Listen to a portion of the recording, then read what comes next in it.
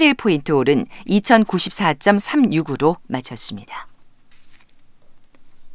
끝으로 날씨입니다. 오늘 충청도와 남부지방 제주도에는 장맛비가 내리겠고 오후에 제주도를 시작으로 내일은 전국이 태풍 다나스의 영향을 받겠습니다.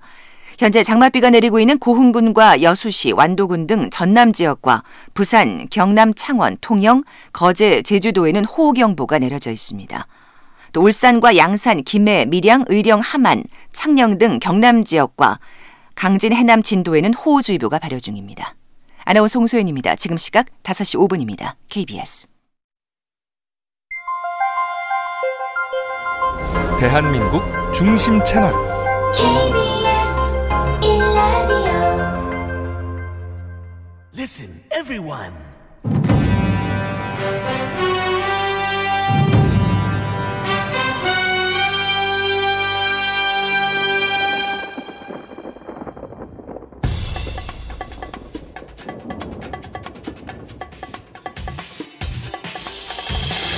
김용민 라이브.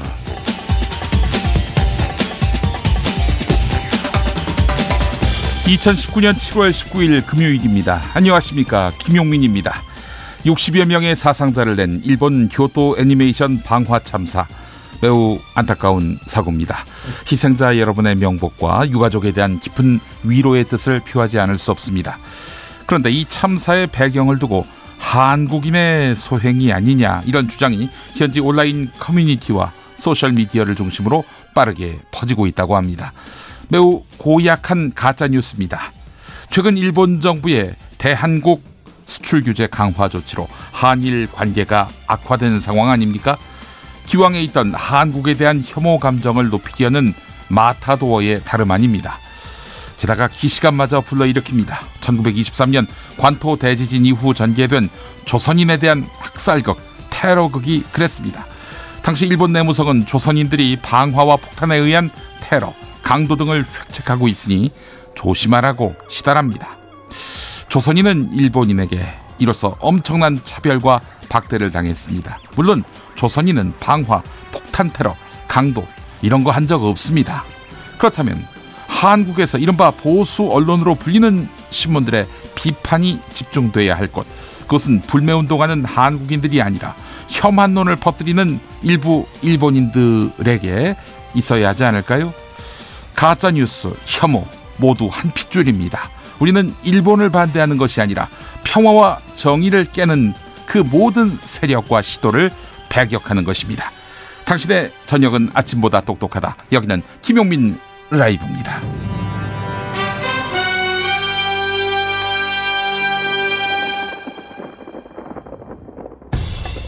대한민국에서 가장 겸손한 스피커가 되고 싶습니다. 여러분은 지금 KBS 1라디오를 보고 듣고 계십니다. 영상으로도 함께하고 계신데요.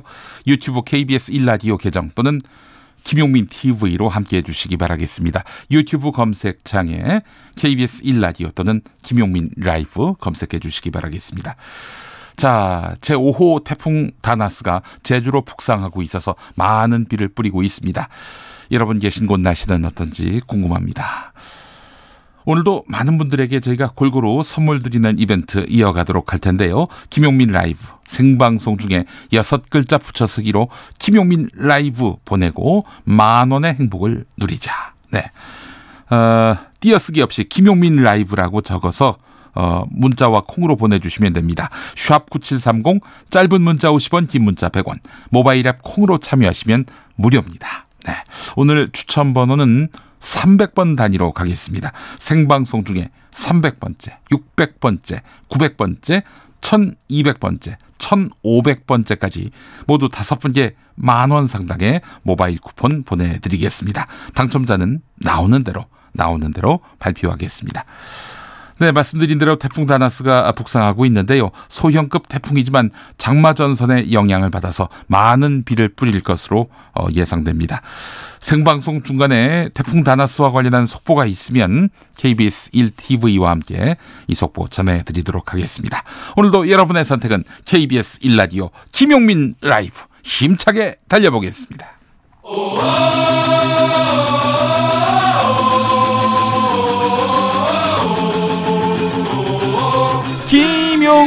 라이브.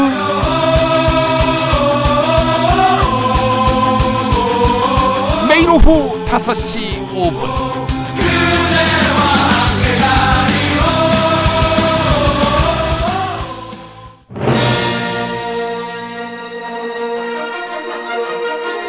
김용민이 간다. 최경령이 온다. 최경령의 경제쇼. 그리고 김용민 라이브의 합동방송. 합체. 크로스. 이제 여기 주인은 나야 나. 경제쇼와 라이브 합동방송 지금부터 시작합니다.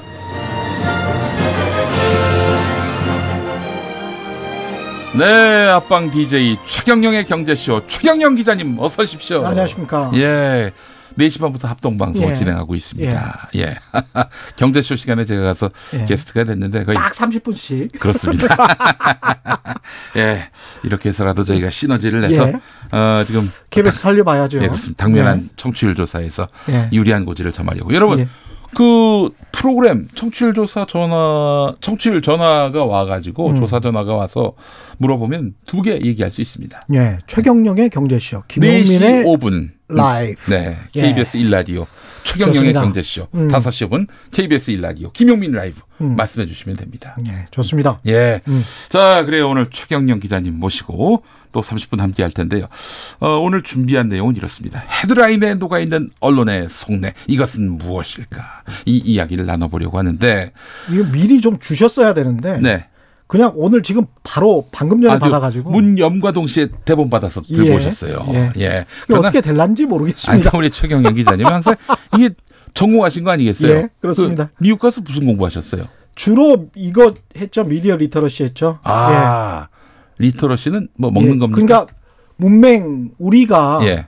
보통 이제 문맹률이 굉장히 낮, 낮은 나라잖아요. 그렇습니다. 한글을 대부분이 다 아시죠. 어, 그럼요. 그렇죠. 그런데 이제 뉴스나 정보를 제대로 습득하고 알 수 있는가, 음. 식별해낼 수 있는가, 아. 무엇이 팩트고 무엇이 거짓인지 네. 확인할 수 있는가, 예. 이런 것을 가만히 따져놓고 보면요, 음. 미국인들도 네. 한50% 정도는 대부분 뭐 타임즈 같은 것들, 어. 뉴욕 타임즈 같은 것들에서 나오는 뉴스나 정보들을 모른다고 해요. 음. 그런 조사 결과들이 굉장히 많습니다. 한 아. 절반 정도는 대부분 모른다. 네. 금융 상품에 어떤 그 굉장히 좀 작은 글씨로 쓰여진 부분들 있잖아요. 네, 그렇죠. 잘 거- 안 읽는 거. 잘 안 읽는 것들 예. 읽어도 잘 몰라요. 음. 그렇게 일부러 써놓거든요. 음.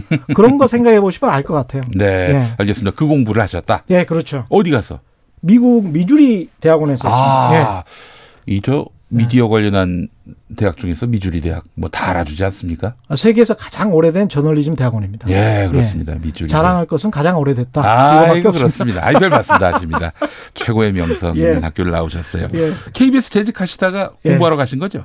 예, 그렇습니다. 아, 음. 그래요. 알겠습니다.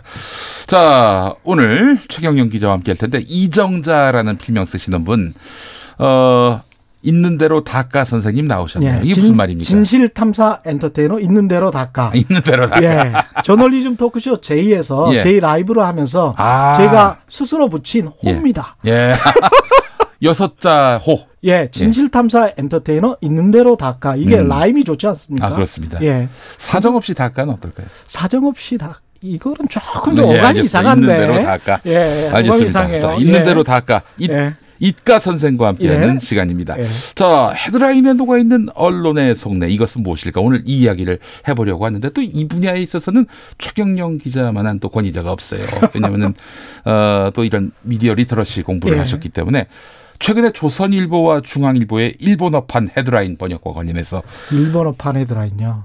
야, 제가 뭐라고 그랬습니까? 일본어판 헤드라인. 예, 예, 그렇습니다. 예. 일본어판 예. 헤드라인. 예. 예. 한두 개 일- 봤었어요. 예, 아, 그건. 예.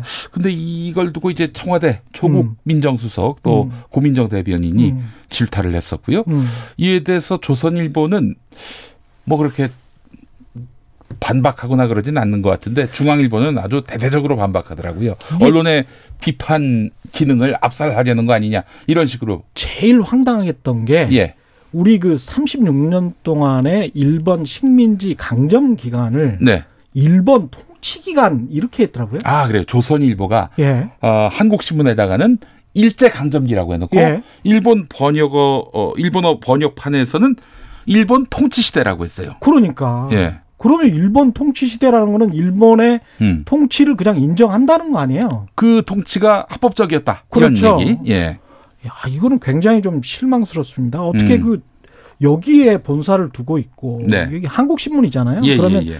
그 정도의 스탠스는 충분히 보일 수가 있어야 음. 한국의 신문사라고 말할 수가 있는데 예. 가령 인도 사람들이 영국의 식민 지배를 받았는데 네. 그게 그것을 정당화시키는 그런 단어를 써서 음. 영국 제국주의라고 표현을 하지 않고 네. 우리가 영국 사람들과 같이 함께 보내면서 음. 영국인들이 우리를 통치했던 시기였어. 네, 이렇게 네, 네. 말하면 예. 인도 사람들이 누가 납득하겠습니까? 아, 그렇죠. 예. 자, 그렇다면요. 예. 그 일면 정말 에, 그뭐 옳고 그름을 다 떠나서 음. 이해하고자 하면은 이렇게 이해를 할 수 있을 것 같아요. 음. 일본 독자들이 예. 예? 눈에 확 띄게 그렇죠. 또 클릭하고 쉽게 이렇게 제목을 뽑은 것이다.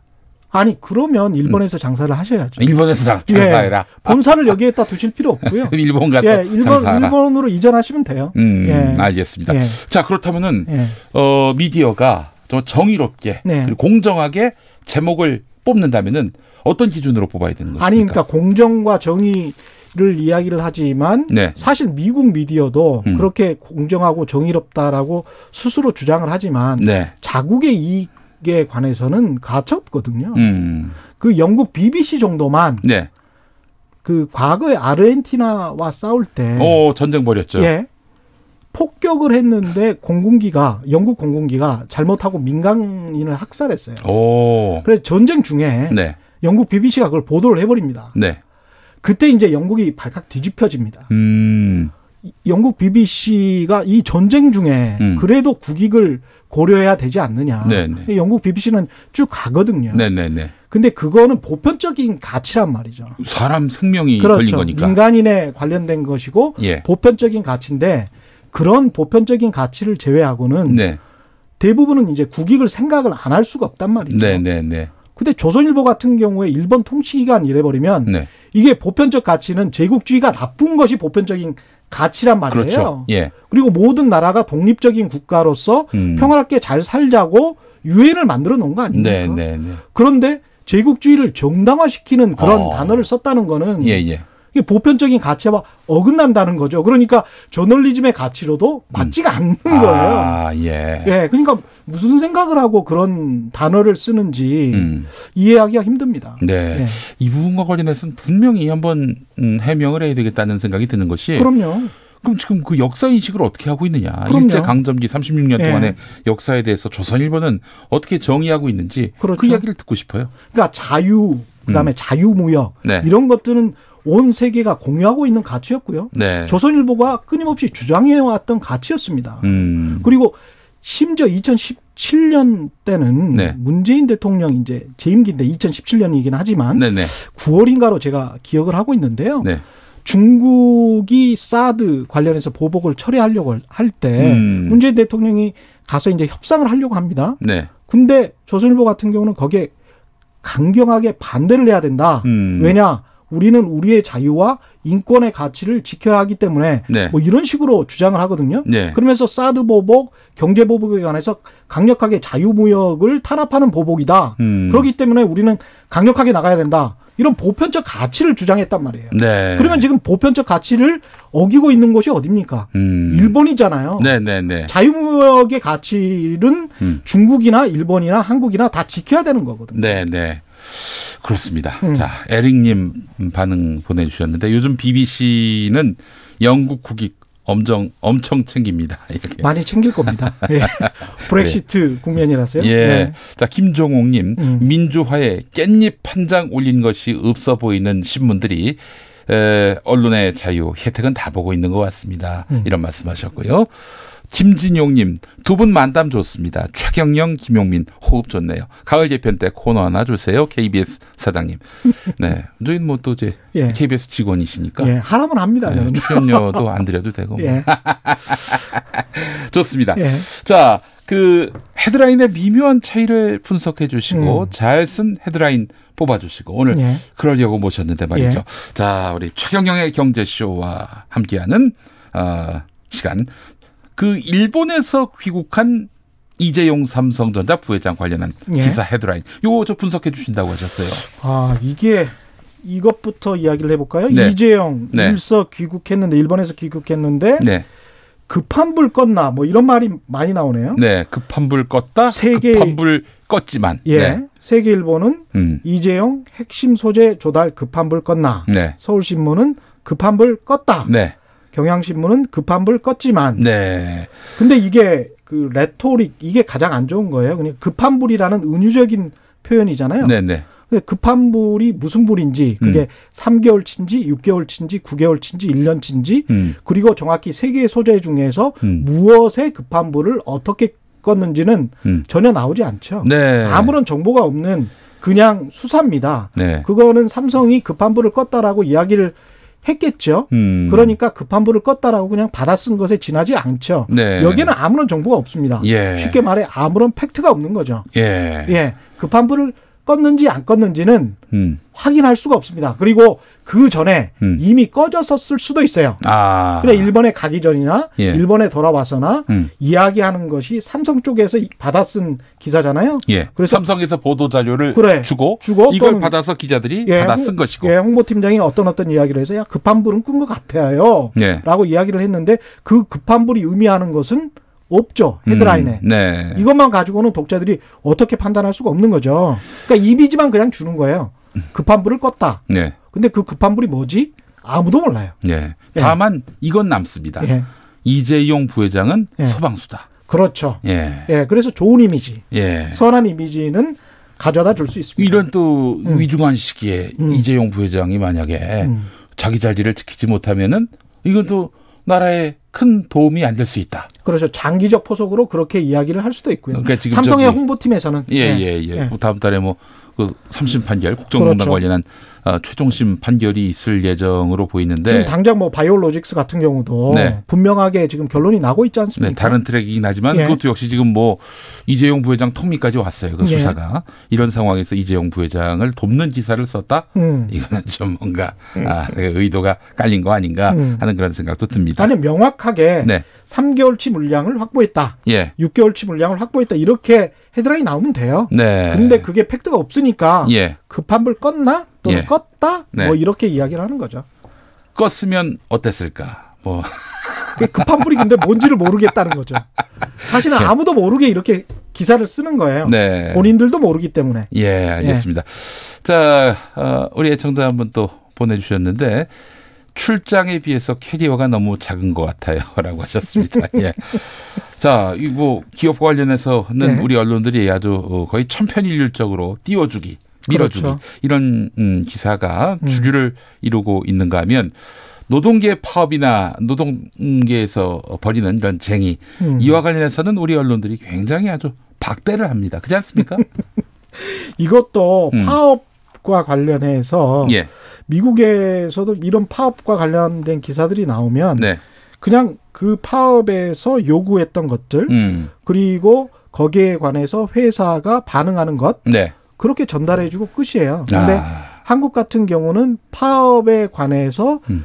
노동자들이 요구하는 것들은 제대로 전달을 하지 않고 네네.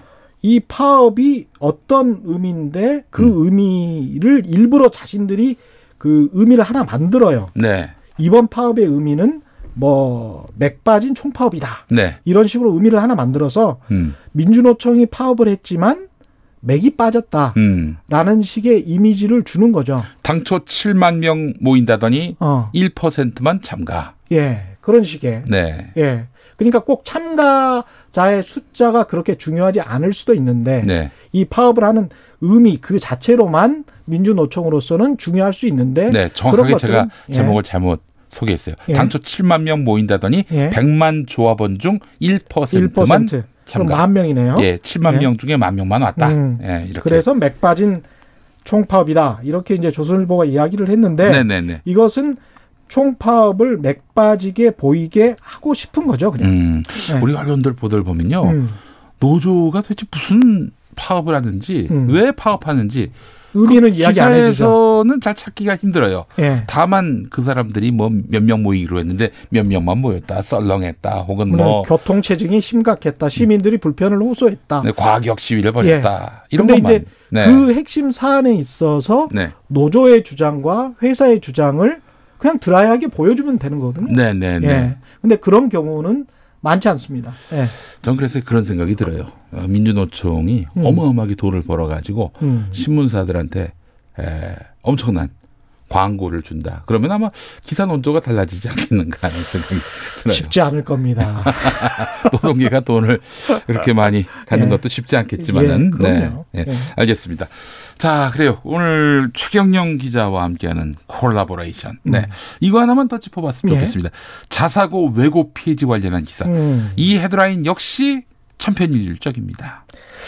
이 자사고와 관련해서는 또 다른 프레임이 있는 것 같아요. 네, 그러니까 네, 네. 이 조선일보 김승환 네. 교육감이죠. 아. 수천만 원 드는 영 명문 영 명문대 입시 기관에 아들 보냈다. 뭐 이런 네. 기사가 나왔는데 상산고의 자사고성을 그렇죠. 예. 폐지해 버린 예, 그래서 어, 하여간 이그 자사고 논란의 중심에 서 있는 인물 예. 김승환 전북 교육감 아니겠습니까? 예, 그렇죠.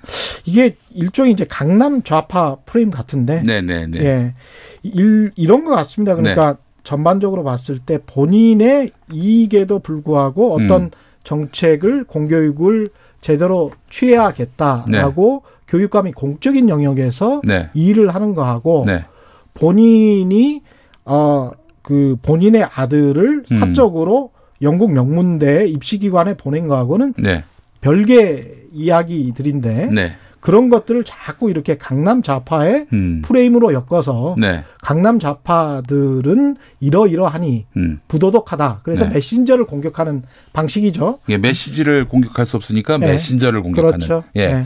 그러니까 위선적이다. 그렇죠. 아, 그 앞뒤가 다르다. 그렇죠. 어, 야누스적이다. 뭐 이렇게. 음, 그러니까 자사고 같은 경우도 핵심 내용은 예. 자사고에서 정말 우리나라를 구할 엘리트가 음. 제대로 그러면 나오는가 네. 아니면 의대만 다 가는가 예. 지금 문제가 되는 부품 소재 산업이랄지 예. 이런 공대 쪽으로 예. 자사고가 다 가는가 네. 아니면은 정말 엘리트들이 음. 그렇지 않은가 네. 의대 의대 중에서도 성형이랄지 돈 되는 곳 쪽으로만 음. 가고 있는가 이거는 네. 뻔히 아시지 않습니까? 예, 예, 예. 예.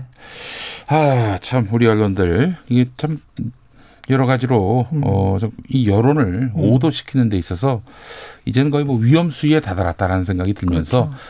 어, 이 공정성을 담보하지 않으면은 언론의 신뢰도는 계속 추락할 수밖에 없겠다 이런 생각을 또 해봤습니다. 그렇습니다. 예, KBS도 또 그런 우를 범하면 안 되지 않겠습니까? 그렇습니다. 예, 자신 있습니까 KBS가 그럴 그럴 일은 KBS 없다. 차차 나아지고 있는 것 같습니다. 예, 차차 나아지고 예. 있다. 지금 경제부장도 아주 훌륭하신 분이고요. 아 박종훈 경제부장이란 분이죠. 예. 박종훈 경제부장 아주 괜찮습니다. 예. 예, 그래요. KBS의 저널리즘도 함께 비판하는 만큼 어, 우리도 비판받지 않을까. 항상 돌아보면서 그럼요. 성찰하면서 예. 저널리즘을 구현해 나갔으면 하는 그런 바람이 있습니다. 우리 베네치아님 앞으로 어, 자유한국당 민경욱 의원 담당은 최경영 기자가 하시면 어떨지 마크맨으로. 예. 아니, 두 분이 뭐 그 어떻습니까? 고- 그 보도국에서 같이 일한 적이 없으십니까? 일했죠. 네. 일하고 그 예. 고대영 보도국장 시절에 네네네. 그 한번 총회가 있었어요. 네, 보도국. 기자들 전체 총회가 있었는데 네. 그때 당시에 보도국 어, 보도국장을 탄핵해야 된다는 측과 음. 어, 저 같은 사람들이죠. 네. 그리고 보도국장을 옹립해야 된다는 계속 지켜 나가야 된다라는 측이 음. 갈등을 빚었는데 네. 그 당시에 미묘한 아주 우리는 음. 그래도 보수와 진보 음. 그 사이에서 네. 어, 교도소의 담장을 타고 가는 사람들처럼 네. 아주 기계적 중립이라도 지켜야 한다라고 오. 강변하셨던 분이 민경욱 씨거든요. 민경욱 의원이거든요. 예.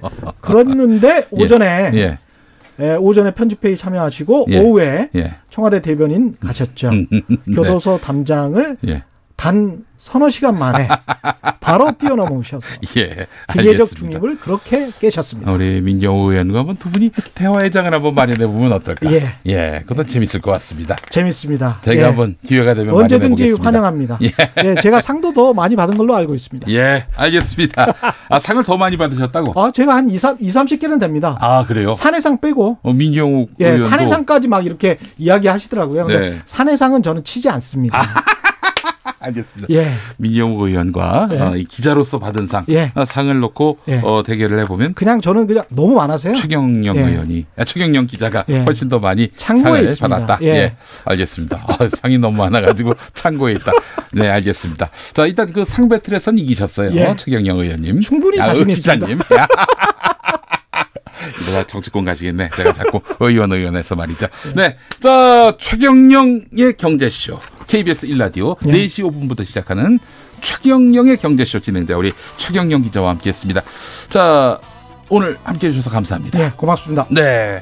다이나믹 듀오의 Beyond the Wall 듣고 잠시 후에 다시 오겠습니다.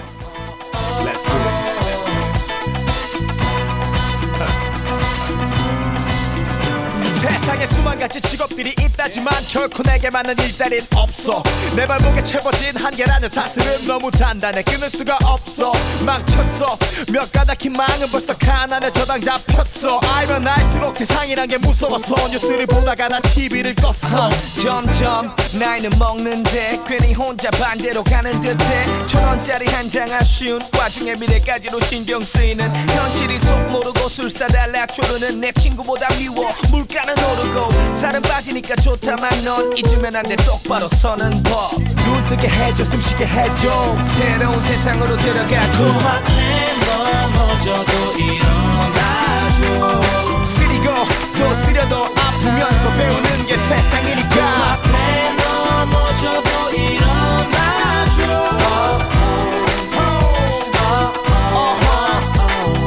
숨쉬게 해줘 눈 뜨게 해줘. 새로운 세상으로 데려가줘. 다 알아? 너 많이 힘든 거 하루하루 먹고 살기 힘든 거. 무너진 모습 깔아보면 기특거리는 깡패 같은 현실의 꿈 다 뜯겨. 빈털터리가 된다 해도 일어서 비틀거린다 해도 지극히 정상이기 강요하는 미친 세상에 우리 미쳐야만 정상이 돼. 청춘이란 혜택을 받고 살때 길러지는 약점도 달고 가네. 밥줄 없이 통장 잔고 가니 목덜미를 잡아도 잘 참고 살기 세상이 불나도 눈 크게 떠야 돼. 앞을 가리던 안대를 벗어야 되는 현실에 적응할 때 좋은 버릇이돼. 아버지를 이해할 때 넌 어른이 돼. 눈뜨게 해줘 숨 쉬게 해줘. 새로운 세상으로 데려가줘. 그만해 넘어져도 일어나줘. 쓰리고 또 쓰려도 아프면서 배우는 게 세상이니까. 그만해 넘어져도 일어나줘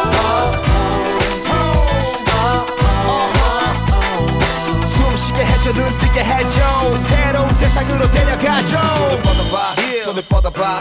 이제 한계라는 커튼을 걷어봐. 오케이. 안개 같은 오늘을 걸어가죠 제5호 태풍 다나스가 한반도에 상륙하면 네, 남부지방에 최대 500mm 이상의 폭우가 내릴 것으로 기상청이 예보했습니다. 자, 그래서 어, 내일 오전 9시쯤에 전남 진도 인근 해안에 상륙 할 것으로 보이는데요. 경북 내륙을 거쳐서 어, 밤 9시쯤 동해로 빠져나간 뒤 동해상에서 소멸할 것으로 파악됩니다. 내일 오전부터 비구름대가 전국으로 확대된다고 하니까요. 각별히 유의하셔야 될 것 같습니다. 계속된 기상 정보는 KBS 1라디오를 통해서 확인하실 수 있겠습니다. 벌써 300번째 당첨자가 나왔어요. 황영숙님 축하드리겠습니다. 자, 여러분 계속해서 보내주시면 감사하겠습니다. 아, 만원 모바일 상품권 보내드리고 어, 있습니다. 자, 300단위로, 300단위로 1200번째 보내주시는 분까지 해서 아, 600번, 900번, 1200번, 세 분 남았네요? 예. 아, 1500번까지. 아, 그렇군요. 1500번까지. 네 분 남았습니다, 여러분. 어, 샵9730 짧은 문자 50원, 긴 문자 100원. 예, KBS 모바일 앱 콩으로 보내셔도 되겠습니다. 모바일 앱 콩은 무료입니다. 자, 여러분 어, 많이 함께 해주시기 바라겠습니다. 자, 비 오는 금요일인데 말이죠. 어, 권수미님 서귀포 비바람 많이 붑니다 라고 해주셨습니다. 네, 어유 유의하셔야겠어요. 제주에 계시니까요. 네, 교통정보센터 다녀오겠습니다. 박소영 씨. 네, 금요일답게 교통량이 많은데요. 사고 여파를 크게 받고 있는 것도 있어서 잘 살피셔야겠습니다. 경부고속도로 부산 쪽으로 천안 부근에서 승용차에 화재가 나는 사고가 있었습니다. 조금 전 이 처리 작업이 끝났지만 북천안부터 8km 구간 쭉 정체가 여전하고요. 이전에 신갈에서 수원 그리고 기흥에서 동탄 사이로 밀리고 있습니다. 반대 서울 쪽으로는 안성에서 수원 사이 20km 구간 정도 정체가 이어지고 있고요. 이후로 신갈에서 반포까지 16km 구간에서도 이동하기가 어렵습니다. 경인고속도로 서울 쪽으로는 신월 부근에서 승용차 관련해 사고가 발생했는데요. 갓길로 옮겨서 이 처리 작업을 하고 있습니다. 부천부터 3km 구간에서 밀리고 있고요. 서해안 고속도로 서울 쪽으로 교통량이 빠르게 늘면서 벌써 27km 구간에서 정체가 되고 있습니다. 서평택에서 화성 휴게소, 그리고 비봉에서 용담터널 지나기가 힘들고 더 가서 서서울 요금소에서 조남분기점, 그리고 일찍에서 금천까지 정체입니다. KBS 교통정보센터였습니다.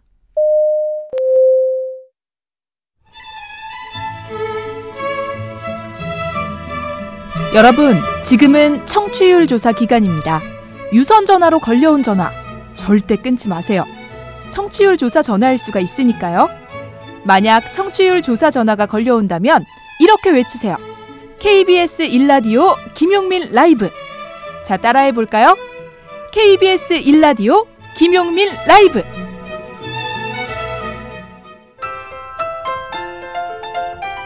네, 여러분 안녕하십니까? 용용 엄지 용입니다.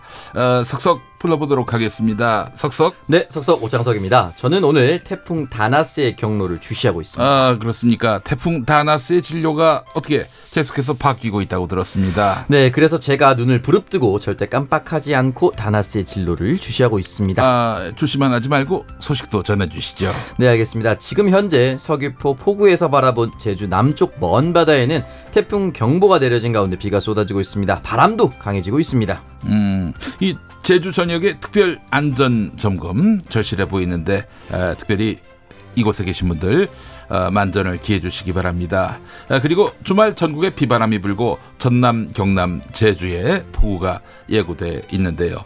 자, 어, 다나스. 그래서 어떻게 이동할 예정입니까? 네, 내일 오전에 제주 찍고 낮 12시에 광주 찍고 저녁 6시에 대구 그리고 모레 포항 쪽으로 빠져나갈 듯이 보입니다. 아, 말씀드린 순간 반기문 국가기후환경회의 위원장님이 오셨습니다. 안녕하세요. 날씨 이야기에 제가 빠질 수 없지요. 비는 일요일인 모레가 돼서야 그친다고 합니다. 여러분, 일요일까지는 미세먼지가 없다는 얘기죠. 이번 태풍 부디 큰 피해 없이 지나가길 바랍니다. 많이 회춘하셨네. 네. 미세 뉴스 보세 오늘의 뉴스는 경험 많은 태풍 다나스. 어서 물러갔스. 네, 시사평론가 김수민 씨, 오창석 씨, 어서 오십시오. 네, 네, 안녕하세요. 네, 태풍 다나스 관련 속보 들어오는 대로 계속 전해드리겠습니다. 다나스가 이 필리핀에서 제출한 이름인데 경험이라는 뜻이라고 하는군요. 네. 그래요. 자, 다나스 여러분 각별히 유의하시기 바라겠습니다. 김수민 평론가 오늘 첫 번째 소식 뭡니까? 네, 양국 간의 갈등, 한국과 일본 정부 갈등이 장기화될 전망이라고 오늘 와사히 신문이 보도를 했습니다. 일본 음. 정부는 한국과의 신뢰 관계가 현재 손상됐다라고 하면서 그 태도를 유지를 하고 있고요. 음. 일본 경제산업성 간부는 이 보도 에서 수출 관리보다 옛 징용공 그러니까 강제징용 피해자의 일본식 표현입니다. 네네. 징용공 문제에 대한 한국의 대응이 수십 배 심각한 행위라면서 음. 문재인 정권이 계속되는 이상 교제도 계속할 수밖에 없다. 라고 밝혔고요. 그리고 국제사법재판소로 이 문제를 가져가는 방안에 대해서는 상대국 그러니까 한국의 동의를 필요로 한다면서 외무성 내에서도 실효성이 없다거나 어. 마지막 카드로 쓸 수밖에 없다라고 하는 지적이 나오고 있다라고 전했습니다. 예. 그래요. 그뭐 내, 뭐 내부적으로 봤을 때도 효용성이 없다고 그랬는데 마지막 카드로 쓴다는 건 무슨 말인가요? 실효성이 없으니까 가장 마지막에다가 놓겠다 뭐 이렇게 풀이를 할 수가 있겠죠. 음, 그래요. 네. 알겠습니다. 근데 이게 굉장히 치킨 게임이라서 ICJ 같은 경우는 음. 예, 예, 예. 한국 정부에서도 적극적으로 검토하기는 어려운 카드로 보입니다. 네, 알겠습니다. 고노다로 일본 외무상이 담화를 발표했는데 오창석 평론가 그 소식 전해주시죠.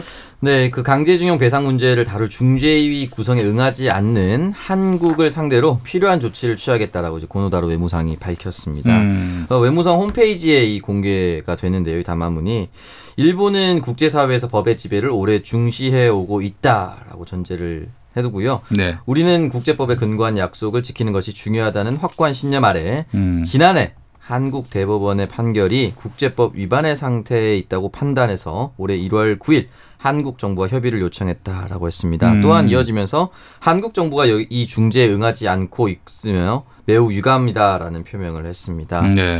이 고노다로 외무상은 예전에 1993년 고노 요헤이 관방 장관의 아들입니다. 아 그래요? 예, 어. 친아들이고요.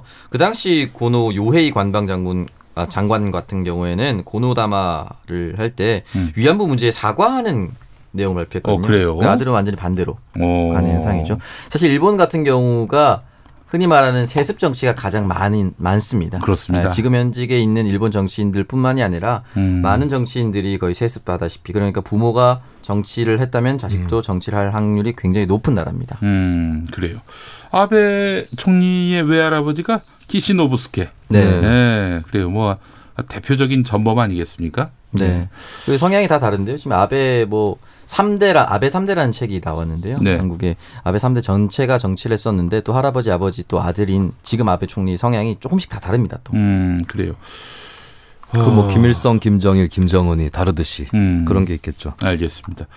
키시노부스케의 외손자가 이제 아베 총리인데 음. 키시노부스케는 A급 전범. 네, A급 전범으로 또 우리에게 널리 알려져 있고요. 예. 일본 참의원 선거가 얼마 남지 않았는데 자민당 현 여당의 승리가 뭐어 짙어졌다. 예. 짙어졌다 이런 얘기 있더라고요. 네, 일단 자민당 그리고 공명당 연립 여당이죠. 과반 의석은 물론이고 압승을 거둘 것이다라는 여론조사가 나왔습니다. 음. 이게 이제 로이터 통신에 따르면 일본 기업들을 상대로 조사를 했어요. 504개의 대기업과 중소기업을 대상으로 실시가 됐고 이 중에 약 240개의 기업이 익명을 전제로 답을 했습니다. 음. 여기에 살펴보면요. 니케이 리서치가 로이터의 의뢰로 지난 1일부터 12일 여론조사를 했습니다. 연립정당이 현재 의석수를 유지하기 바란다라는 응답이 60%에 달했고요. 예, 예. 더 예. 많은 의석을 차지하길 바란다라는 답변이 17%였습니다. 음. 결국 현재 이상을 어, 원한다라는 응답 수준이 77%라는 것이죠. 반면에 연립정당의 의석을 잃길 바란다라는 어, 응답이 20%, 네. 과반 의석을 잃길 바란다라는 것은 단 3%에 불과했습니다. 네. 지금 압도적인 지지를 적어도 기업에서는 받고 있다라고 볼 수가 있습니다. 이러한 이유로는 G20 정상회의를 들었고 현재 아베 총리가 외교 안보 정책을 잘하고 있다라고 하는 응답이 높았습니다. 아, 그러니까 아베가 한국과의 관계를 깨면서 네. 장사 잘했네요. 네, 아마 주요하게 먹혔던 것 같고요. 사실 그뿐만이 아니라 다른 쪽에서의 외교도 먹혀 들어가고 있다라고 볼 수 있습니다. 아, 이런 장사가 먹히는 일본 정치 참 착잡합니다. 예. 사실은 이제 일본은 전쟁 이후에 사실상 거의 1.5당 체제로 지금 쭉 오고 있지 않았습니까? 음, 네. 외신에서 한국을 이제 재벌 이라고 표현하면서 네. CHE로 시작해서 그냥 그 재벌 자체를 그냥 영어로 표기를 해서 그. 특수성을 인정하지 않았습니까? 예. 일본 같은 경우 지금 기업을 대상으로 조사를 했는데 일본 같은 경우는 정관제의 철의 삼각형 뭐 음. 키라추라고 해서 어 기본적으로 일본 내 기업과 현재 자민당의 연립, 뭐 정경 유착 이런 것들을 사실상 인정하고 또는 함께 공생하면서 발전해 왔습니다. 그렇기 때문에 아마 기업에서 훨씬 더 일본 총리 또는 자민당의 우호적인 여론이 있을 수 있다라는 점을 좀 전제하고 싶습니다. 네. 일본 야당이 너무 약해요. 특히 민주당 같은 경우. 음, 어, 고작 3년 집권했고 그 사이에 또 총리가 세 번 바뀌고 음. 그 사이에 또 전대미문에 동일본 대지진이 일어나 가지고 또 민심이 많이 떠났고요. 아이고 참 일본은 견제 세력이 마땅치 않아 가지고 여러 가지로 참 어, 지금 자민당 독주 현상에 제동을 걸지 못하고 있어요. 네. 권수자님은 아베에 대한 일본 젊은이들의 반대 정서는 매우 강합니다라고 하셨고요. 예, 그래요. 그 이- 우리 이 가운데 당선 경험이 있는 김수민 평론가를 일본에 수출했으면 좋겠습니다. 네. 민주당으로요. 어디로? 민주당으로. 더 망하라고요. 일본 아니, 민주당. 네. 아니, 아니, 우리 김수민 씨는 굉장히 능력 있는 분 아닙니까? 일본은 능력 공산당도 있으면 있습니다. 자민당으로 보내주셔야죠. 아예 안 돼요. 네. 자민당이 어떻게 보냅니까? 자민당에 대해서 잘 모르시는 것 같은데 네. 어떤 당이 거대하거나 장기 음. 집권하면 그 네. 안에 결들이 쪼개지는 경향이 있습니다. 음. 예, 그 안에서 그러니까 자민당이 왜 큰가, 왜 독주한가를 봤을 때 자민당 내부에 여러 세력들이 있는 것이고 음. 거기에 세력 역학 관계가 있는 거죠. 음. 정치를 당선된 주도하려면 사람이라서 자민당에 들어가는 게 절대 안. 가려고 하네요. 그리고 자민당하고 민주당하고 특별히 무슨 차이가 있는 것도 아니에요. 음. 예, 그냥 넘어가는 법이 없어요. 아, 나 정말 참. 좀 정확히 얘기하는 법이 없습니다. 네. 왜 일일이 지적을 하게 만듭니까? 근데 이 기사에 따르면 진짜 대한 세력이 없어 보이는 게 음. 누가 차기 총리로 임명돼야 하는가라는 질문도 있었습니다. 네, 네. 37%가 아베 총리가 계속했으면 좋겠다. 음. 그다음 나머지는 아베 아들 아니에요? 아베 아들. 아베 아들 아니고 21%가 예. 고이즈미 전 총리 아들. 아, 고이즈미 아, 신지로. 그래요? 네. 또또그 3세, 2세, 네, 3세. 이세. 예. 그래서 뭐 사실은 크게 달라질 것이 없다. 물론 이제 조금은 다르겠지만 음. 똑같이 자민당 의원에서 나올 수 있는 확률이 높죠. 네, 역시 그 대안이에요. 대안이 없으면은 정권 교체 불가능합니다. 네. 예. 자, 그래요. 김수민 평론가 다음 소식 전해 주시죠. 오늘 새벽에 일본 대사관 앞에 주차한 차량 내에서 분신을 한 70대 남성이 음. 병원으로 세상에. 옮겨졌다가 결국 사망을 했습니다. 예. 어, 78세 김모 씨로 알려져 있는데요. 오전 3시 24분에 어, 그 일본 대사관 앞에 차량을 세운 후에 안에서 불을 질렀습니다. 음. 이도 화상을 입고 인근 병원으로 희송이 됐지만 음. 이송이 됐지만 어, 결국에 사망을 했고 네. 지인으로부터 차량을 빌려서 사고 장소까지 왔다고 전해지고요. 일본에 대한 반감으로 범행한다라는 취재 통화를 지인과 나눴다고 합니다. 그리고 가족, 지인 등을 조사를 하고 있는데 이거 확실하게 뭐 밝혀지기까지 좀 시간이 걸릴 수 있겠지만 이 김 씨의 장인이 일제 시절에 강제징용을 갔다 왔다라고 음. 하는 전원이 있어서 경찰이 확인 중에 있고요. 네. 최근에 경제 보복과 직접 관련된 내용은 없었다는 게 현재 경찰 관계자의 발표입니다. 네, 알겠습니다. 이서웅님, 어, 집에 가는 길 오창석, 김수민 재밌습니다. 성대모사 최고입니다. 김용민 라이브 좋아합니까? 사랑합니까? 이렇게 물어봤습니다. 네. 뒤에 사퇴하세요. 왜 안 읽으세요? 네, 그 뭐 얘기 하나 들어보고. 방금 전에 살짝 목소리가 이렇게 변질되신 것 같아요. 아, 예? 좋아합니까? 이거 할 때. 네. 그 성대모사는 아니겠죠, 그게? 의원직을 네. 상실해가지고 힘이 빠진 겁니다. 예, 이완영 전 의원. 예, 예, 그런 거예요. 현재 네. 상태까지 반영한. 아, 아, 그게 이완영 전 의원 모사였습니까? 그렇습니다. 어디서 저희 동네 어떤 아저씨 목소리 같은데. 네. 아, 그냥 넘어가는 법이 없어요. 그냥 넘어가는 법이 없어. 아, 나안 정말. 걸리는 법이 없어요. 예. 네. 알겠습니다. 자, 어, 어제 그 일본 제품 불매 운동 사이트 소개해드렸는데 네네. 이 사이트 운영자가 방송에 직접 출연 했더라고요.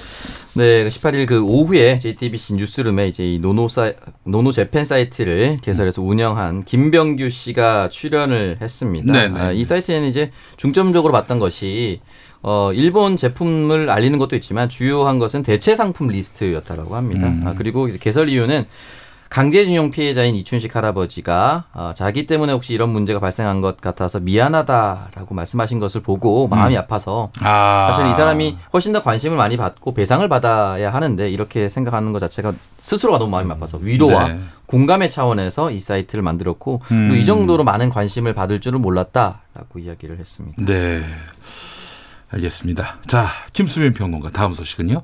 네, 충남 도의회가 어, 일본의 경제보복성 수출 규제 조치에 대한 철회 촉구 결의안을 채택했습니다. 아, 충남 도의회 이번엔 네. 광역의회. 그렇습니다. 음, 예. 며칠 전에 제가 당진시의회 음. 결의안 소식을 전해드렸는데 지금 뭐 전국 각지에서 봉기하듯이 음. 지방의회에서 이런 결의안들이 나오고 있습니다. 뭐 창원, 부천, 정읍 등등에 굉장히 많고 네. 그다음에 뭐 대구시의회 같은 경우는 특별히 또 독도를 방문한다거나 어. 이런 행동들에 들어가고 있는데 충남도의회도 이제 어 19일 열린 본회의에서 대표 발의 안장헌 의원 네, 발의로 음. 자유무역과 한일 관계 증진에 반하는 일본 정부의 경제 보복 조치 철회 촉구 결의안을 채택했습니다. 음, 그래요. 전국적으로 꽤 많은 광역 의회 또 지방 의회가 있는데 이곳에서 또 이렇게 개별적으로 결의안을 내서 어, 뭐 계속 우후죽순격으로 나오게 되면은 그래도 굉장히 일본에게 어느 정도 압박이 되지 않겠는가 하는 생각이 듭니다. 네, 그리고 또 일본하고 자매 결연을 네. 맺고 있는 지자체들이 있을 겁니다. 네. 거기서도 나름대로 액션을 좀 취해 줄 필요가 있고 음. 또 이제 자신의 파트너에 해당하는 도시에 맞춰 가지고 음. 이게 이 결의안 내용도 조금씩 다를 수 있어요. 네. 굉장히 강경한 뭐 거의 한일전을 방불케 하는 음. 그런 결의안도 있을 수 있지만 네. 아 이런 이런 건 잘못됐는데 하지 마라 음. 혹은 당분간 좀 자제해라라든지 여러 가지 결들과 어, 강온 네, 수준들이 있을 건데 그 아마 지역별로 음. 또 자신의 지역의 이익과 특성에 맞춰서 네네. 결의안들을 좀 내면 좋겠습니다. 네. 1호로 결의안이 한번 나와도 좋을 것 같아요. 1호로. 아 우리 의회에서 네. 1월로요. 예. 친일파입니까? 아니 일본 사람들 보라고. 일본 사람들 보라고. 아 무슨 말씀을 그렇게 하나. 아니 네. 그 일본 그것도 일어판이랑 한국어판이랑 또 다르면 또할 겁니까? 네, 표현이 다르든지. 굉장히 공손해져요. 네. 결의안이 아니라 건의안으로 예, 바뀌고. 건의안으로. 네. 알겠습니다. 자 이런 와중에 일본에서 충격적인 방화 사건이 일어났는데 네. 이 소식도 전해주시죠. 네, 18일 오전이었습니다. 일본 이제 교토시에 있는 음. 교토 애니메이션이라고 하는 1981년 된 81년에 설립된 애니메이션 전문 제작 업체가 있습니다. 음. 여기에서 방화로 인한 화재가 발생을 했는데요. 어, 3층 짜리 건물인데 이 3층을 쓰고 있었는데 3층은 전소됐다라고 합니다. 음. 그래서 그 거기 안에 있었던 70여 명의 직원들 중에 어, 33명이 숨지고 어. 36명이 다친 참사가 발생을 했다라고 하는데요. 제가 모두에서 네. 이걸 뭐, 뭐 한국인 소행이다 이런 식으로 얘기하는 사람들이 있다고 하더라고요. 일본 커뮤니티에서요. 아, 뭐 전혀 뭐 근거 없는 얘기입니다. 네, 예. 말도 안 되는 얘기고요. 예. 어, 바로 잡혔습니다. 41살의 남성이 그 휘발유로 추정된 액체를 뿌린 뒤에 불을 질렀고요. 명백한 방화네요. 네, 예. 자신이 범행을 시인을 했습니다. 다만 이제 범행 이유에 대해서는 뭐 표절이나 하고 뭐 이런 식의 응답 을 했다라고 하는 다소 좀 어, 황당한 뭐 자기가 창작을 했는데 누군가가 베꼈다 뭐 이런 얘기입니까? 그런데 이제 거기에 대해서는 교토 애니메이션 측이 음. 회사가 그러한 항의에 대해서 일상적이진 않아도 적지 않았기 때문에 변호사를 통해서 상담하거나 진지하게 대응했는데 중요한 거는 이 용의자가 이 회사에 근무한 적이 없는 것으로 추정을 아 했- 그래요? 네, 어. 그래서 이 사람이 막 바깥에 있는 다른 애니메이션 회사에 있는데 교토 애니메이션이 표절을 한 것인지 여기에 대해서 아직 정확하게 나오지는 않았습니다. 음. 네. 그리고 지금 사망자와 중상자가 많이 발생했는데 중상자 중에 추가로 사망자가 발생할 수도 있고 아직도 신원이 확인이 되지 않은 사람도 있다라고 합니다. 그래서 음. 추가 사망자가 나올 수가 있다라고 하는데 굉장히 가슴이 아픈 일이고요. 이 화재 사건 같은 경우는 2001년 9월에 도쿄 신주쿠에서 발생한 상가 화재 사건 이후 일본 내 최악의 화재 참사로 기록될 가능성이 크다라고 합니다. 네, 알겠습니다. 자, 김수민 평론가 다음 소식 전해 주시죠. 네, 이승만 전 대통령과 몽양 여운형 선생의 추모식이 오늘 동시에 다른 장소에서 열렸습니다. 음. 알고 보면 이 두 사람의 기일은 7월 19일 같은 날 이거든요. 어, 같은 날이에요? 네, 그렇습니다. 두 사람이 좀 굉장히 많이 다르면서 예. 굉장히 또 공통점도 있는 묘한 예. 독립운동가들인데 그 그야말로 한 네. 시대에 또 같이 정치 무대에서 뜨겁게 겨뤘던 네. 경쟁자기도 했어요. 그렇습니다. 결국에 이제 물론 몽양 여운형 선생이 암살을 당하시면서 먼저 이제 사망을 하셨고 네. 나중에 이제 이승만 전 대통령은 어, 권력을 오래 잡고 결국에는 음. 타국당에서 미국에서 어, 숨을 거두기도 했었죠. 네. 이승만 대통령 같은 경우는 이제 오늘 오전 11시에 국립서울현충원에서 54주기 추모식이 열렸고요. 오진영 서울지방보훈청장을 포함해서 각계에서 참석을 했습니다. 그리고 음. 같은 시간에 서울 우이동에서 음. 몽양 여운형 선생 72주기 추모식이 열려서 여기는 김상출 서울 북부 보훈지청장을 포함한 각계 인사들이 또 어, 참여를 했습니다. 음, 알겠습니다. 그리고 이제 한편 황교안 자유한국당 대표가 이승만 전 대통령 추모식에 참석을 했거든요. 네. 나오는 길에 박근혜 전 대통령 지지자들에게 항의와 함께 물세례를 어, 예, 받았습니다. 그래요. 어유 그런 폭력을 행사하면 안 되죠. 예. 그러니까 양쪽 다 이승만 전 대통령 추모이고 음. 이제 약간 승계 의식이 있겠죠. 계승했다 자신들이. 네. 아. 근데 자기들이 이제 네. 적통 음. 세력이다. 근데 만났는데 이제 양쪽은 사이가 좋지 않은. 네. 네, 박전 대통령의 오늘 이 어, 기념식 참가자들 입장에서는 황교안 자유한국당 대표는 남이다 음. 네. 혹은 적이다 이렇게 볼 수 있겠습니다. 예, 그래요. 어떻습니까? 그 김수민 변호가 이분들이 내년에 총선 때도 이렇게 적대적인 관계를 계속 유지할 거라고 보세요? 오늘 그 마주쳤던 황교안 대표하고 상대방의 네. 박전 대통령 지지자들은 음. 뭐 화해할 일이 없겠죠. 정치인과 일반 국민이니까. 네, 네, 네. 이제 정치 세력으로서 자유한국당과 우리공화당은 음, 뭐 가봐야 알겠죠. 음. 가봐야 알겠죠. 네. 너무 허망하네요.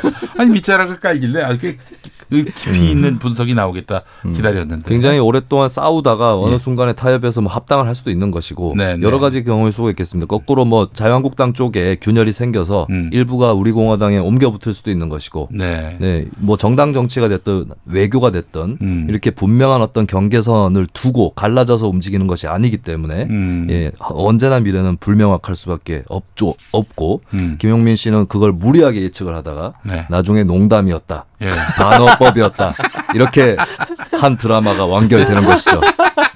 이게 바로 우리 기승전결이죠. 저 김수민 씨. 네. 당신도 날 닮을 겁니다. 예. 오 최고의 저주입니다. 아, 그렇지 네. 않아도 이종훈 정치평론가라고 저 방송 많이 나오시는 분인데 네.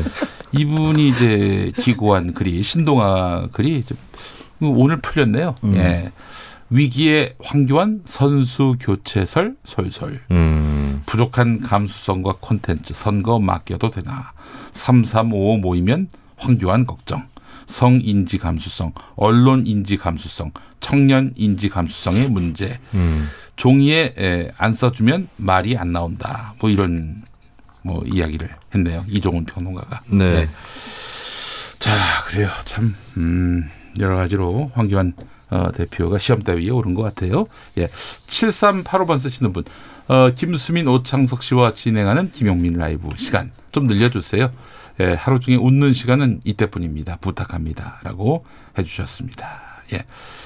김용민 라이브가 확장되는 걸 별로 바라지 않는 분도 계셔가지고, 예. 모든 국민의 뜻을 자로잰 듯이, 예, 이렇게 저희가 또, 어, 수렴을 해야 됩니다.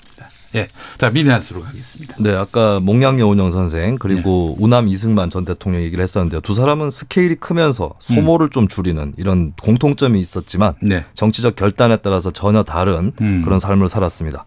한번 무거운 질문인데요. 우남처럼 살 것이냐, 몽양처럼 살 것이냐 음. 한번 던져보겠습니다. 아, 무거운 화두입니다. 자, 서기한수. 네, 지금 나경원 원내대표가 어떤 포인트 조건을 계속 걸면서 그렇게 해주면 추경을 통과하겠다라고 얘기하고 있습니다. 음. 말씀드리고 싶은 건 오직 포인트는 국민이다라고 끊어내고 그렇죠. 국민이 주시는 포인트뿐이다. 알겠습니다. 자, 오창석 평론가, 김수민 평론가 두 분 수고 많이 하셨습니다. 네, 고맙습니다. 고맙습니다. 주말 잘 보내시고 월요일에 뵙고요. 자, 김용민이는 6시 5분 2부에서 다시 오겠습니다.